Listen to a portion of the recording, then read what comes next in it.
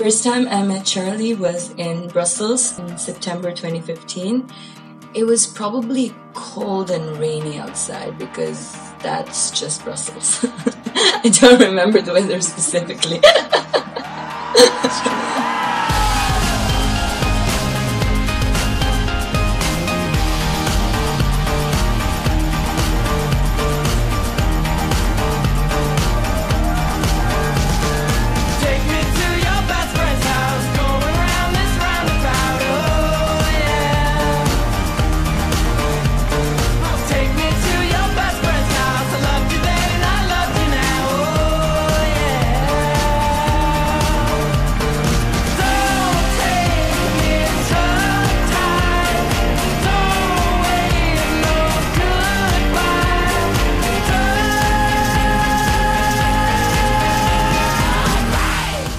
guess the thing that I found most striking about Parley first was how incredibly intelligent and sharp she was.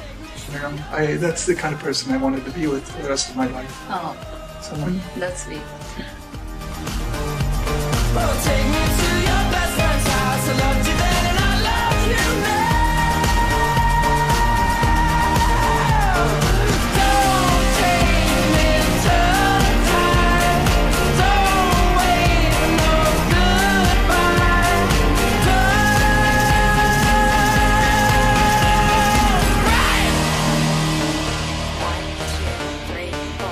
Uh, the thing I love most about Charlie is just how truly progressive he is, how super, how much of a feminist he is. That's super important to me. Like personal politics is very, very important to me, and his personal politics are super on point. That's uh, that's uh, what draws me to him the most. I I always tell everybody Charlie is the the most feminist man I know.